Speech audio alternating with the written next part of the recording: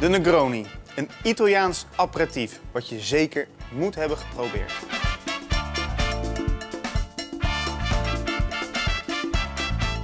Wordt geserveerd in een whiskyglas. Die gaan we eerst vullen met ijs.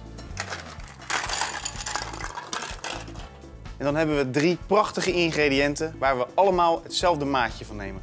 Alle drie 25 milliliter. We beginnen met de gin.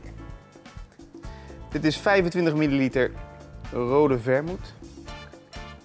Wat zoeter als ze drogen.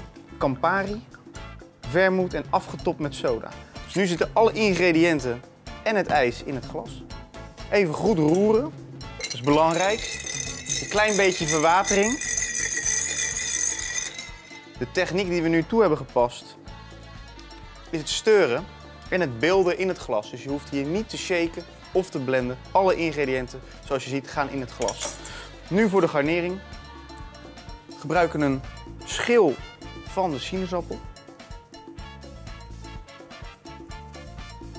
En de olie hiervan, die sproeien we uit, knijpen we uit boven het drankje.